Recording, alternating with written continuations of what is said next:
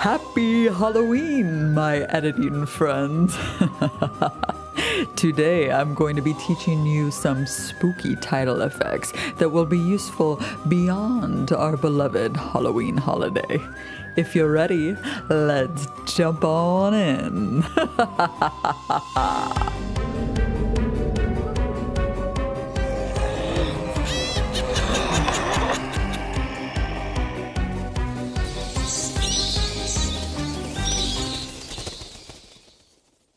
So in version 25.5 or above of Premiere Pro, there's now 90 new plus effects and transitions that can help you create really fast, neat titles. So today I'm going to show you how to make two unique titles and how to turn them into motion graphics templates that you can reuse in future projects. If you join my Patreon, you can access these project files for free. I'll put a link down below.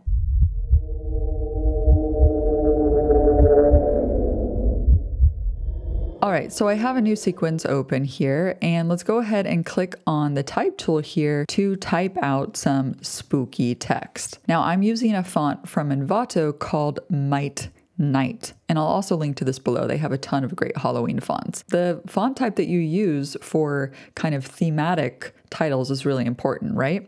So let's go ahead and center this and then also use the align and transform tools to align it horizontally and vertically. This just made, as we zoom in, a tiny little title here. So we can make this longer just by pulling this out. So this is our graphic layer that we can now add effects to. Let's go to the effects panel and let's search for wiggle. And let's drag and drop it. So now immediately we get this kind of wiggle happening, but we need to customize it. So let's go to effect controls. Let's make this window just a tad bit bigger here so it's gonna be easier to work with. And as we scroll down, we're given some more controls here. So we can control the range for both horizontal and vertical. So right now it's at five. If you want it to be more wiggly, like with more range, you can change it to 10, for example. And this will move in greater increments, so it's more noticeable. You can also make it like two, and that's gonna be a little bit smaller of a wiggle, right? So let's keep ours at five. You can also choose to have uh, your wiggle ease in and ease out, which just creates this nice curve on the effect. So you can play around with that. So now this is what it looks like. The wiggle is good, but we have a lot more to do here. Let's search for the grow effect and let's double click to apply it to our clip. Now, when we play this back, you can see it starts to get way too big right towards the end as I get here. So what I'm going to do is go to effect controls now. And right now we're underneath the grow effect controls. And as we scroll down, I want to change it from continuous to destination. And this will let us have an initial scale, which I want to be smaller, let's say 50%. And then I want the target scale to be 100. So the destination means that depending on the length of the clip, that will be the scale at the end. So here it's at 100 and here it's at 50. So now it's scaling from 50 to 100 over the course of the duration of this clip. But we need to make it more spooky. So let's go to effects and let's search for echo glow and drag and drop it on the clip. And immediately what this does is it kind of echoes the edges, but it's kind of hard to read, right? And by the way, I want to mention that all of these effects were a part of Film Impact before, but Adobe acquired Film Impact, so now all the effects are built in, which is awesome. So we need to make some customizations to our echo glow effect from effect controls. So the first thing is I want to reduce the number of steps. So all these repetitions here are the steps. So we can change this to four for example. So now it's already easier to read. Another thing we'll want to do is increase the offset. So that way it kind of looks like ghosts are hovering around our main text, but we still need to make it a little bit easier to read.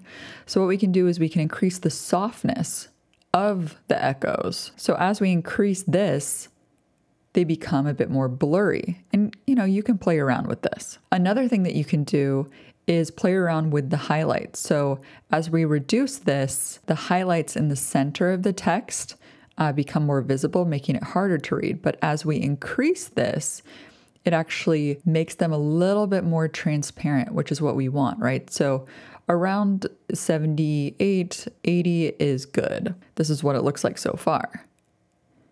And I love that it's starting to look kind of like a spooky ghost, right? That's what I want here.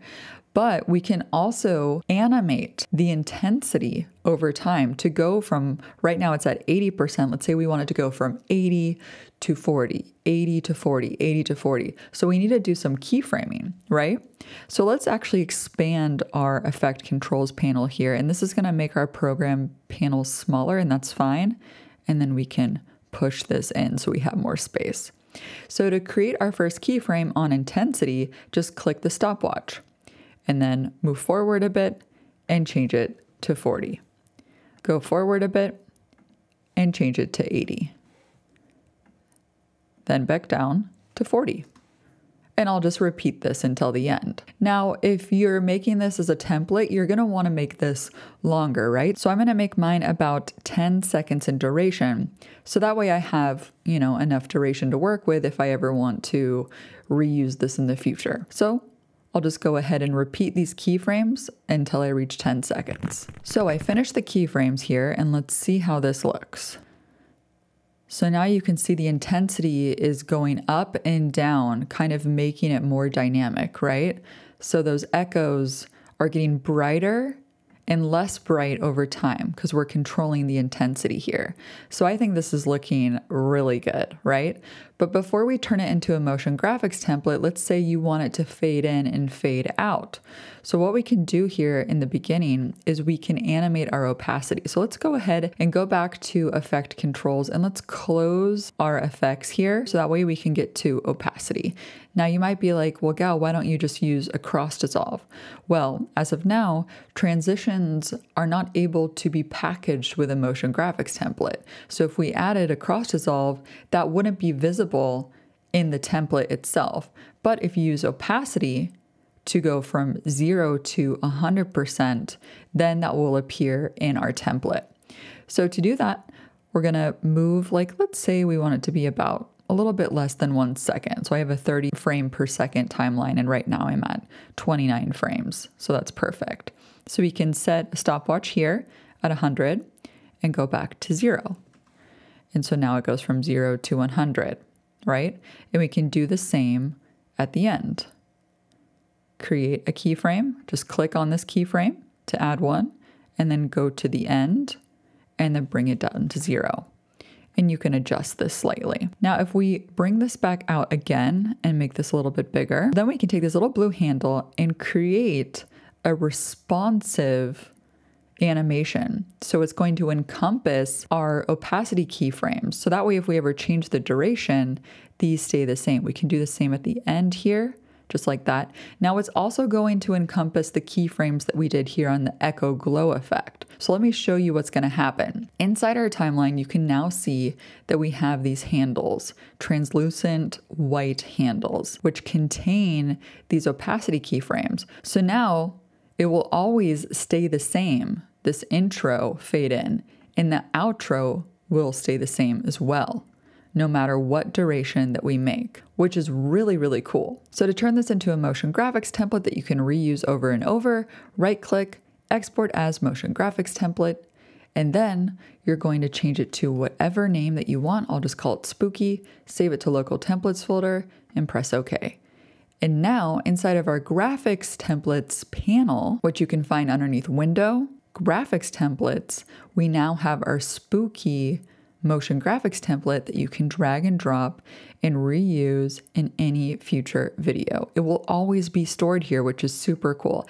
And the keyframes and all of the effects came with it because inside a properties panel, it now contains all these effects on top of our text, which is so cool. So now let's show you a second title effect. But first, I'm Kelsey, and welcome to Premiere Gal. On this channel, we post weekly video editing tutorials, and if this video has helped you out so far, be sure to give it a thumbs up as well as subscribe. And as I'm talking here, I just realized that my microphone is covering up the makeup that I did on my neck here. So I just wanted to show you that I did like the little bones on the neck. So hopefully you guys enjoy the makeup here and take these tools beyond just the Halloween uh, tutorial. I also want to thank today's sponsor. This tutorial would not be possible without the support of Envato. Envato has millions of creative assets that you can use in your video projects from stock video, music, video templates, sound effects, and much more. In fact, that Halloween gal logo reveal that you saw at the opening of this video is a template from Envato. I just downloaded it, I replaced my logo, made a few tweaks, and done. In fact, there are tons of Halloween and spooky templates available on Envato, and for any holiday for that matter. They have pretty much everything, and I put together a collection of some of my favorite title templates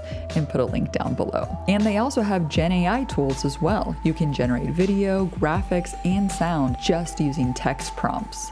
Let me show you a couple examples. Let's type in bats fly at a camera from a cave. Let's enhance it and generate. And now let's generate a sound effect. Let's type in bats flying in a cave. Generate. And here's the result. That's pretty awesome. And they have unlimited video generations until October 31st. So definitely take advantage of that. You can use my link below to get unlimited creative asset downloads for one affordable price. Thanks so much to Envato for sponsoring today's video. And now let's show you another title effect.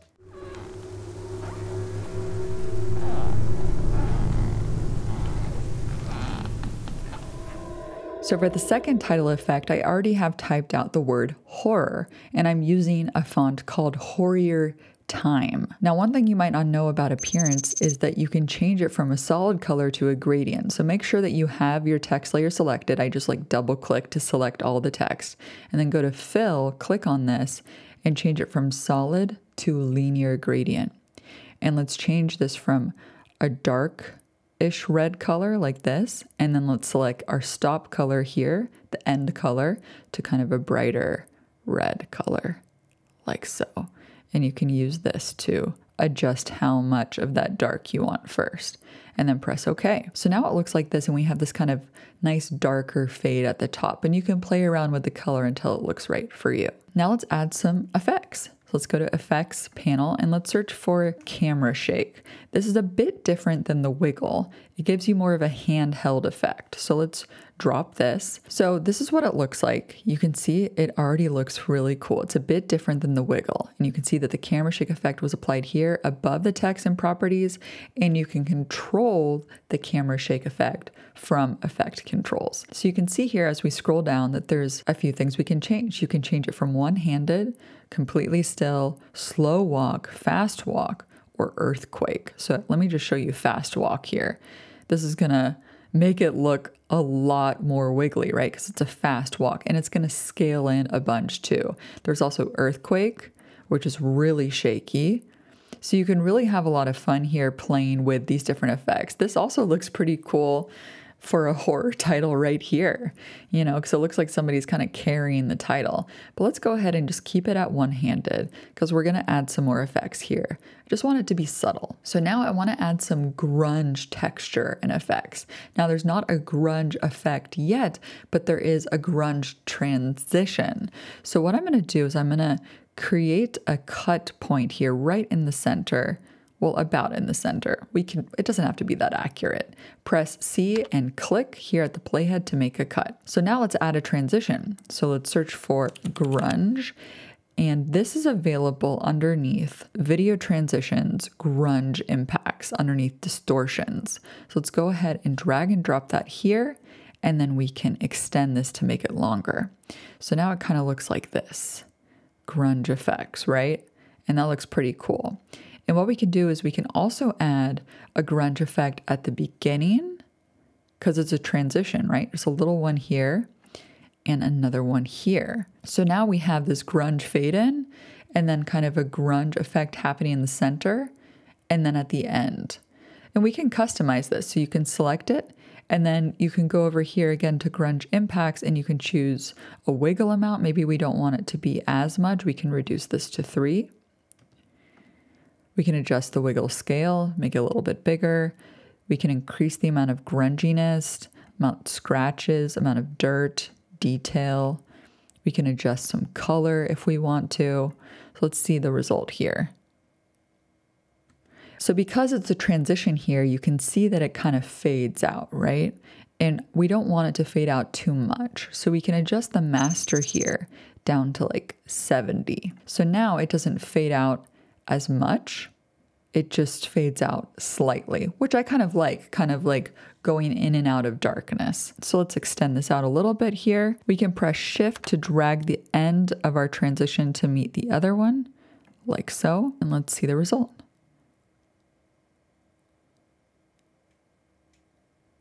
Nice. I think that looks really good.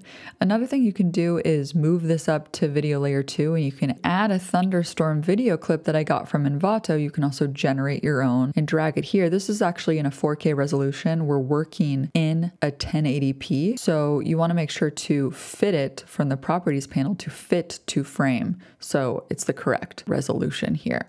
We can also just cut this at the end and we can add a little fade and a fade out. Now, the only downside here is that, you know, because we're using transitions, transitions don't translate to motion graphics templates. So we can't make this a motion graphics template. You can just turn the text with the shake into a motion graphics template, which you can right click on, export as motion graphics template, and then it will appear in your graphics templates folder that you can use in the future. Now, this only has the camera shake on it, it doesn't have the grunge transitions. I hope in the future that this will carry over, but for now, you can always just go to effects and drag and drop the grunge impact onto a cut point. That's how it works. But as a workaround, what I do if I ever want to use this plus the background in the future without having to, you know, recreate it from scratch, I can just save this title effect inside of a sequence and save the Premiere Pro project and then just open up that Premiere Pro project and drag it into my current project. Just copy the effect into the timeline that you're using. It's that simple. That's what I do. So, yeah, this is the second title effect. I hope you found these tips useful and you can carry it forward into your future workflows. If you want to learn more Premiere Pro title effects, you can click right over here to go check out a new video. And don't forget to give this video a thumbs up if it helped you out too, because it helps support the channel when you do that. That's all for today's video. Happy October, fall, Halloween, uh, or just happy editing if you're watching this in the future. Um, and yeah, keep creating better video with Gal.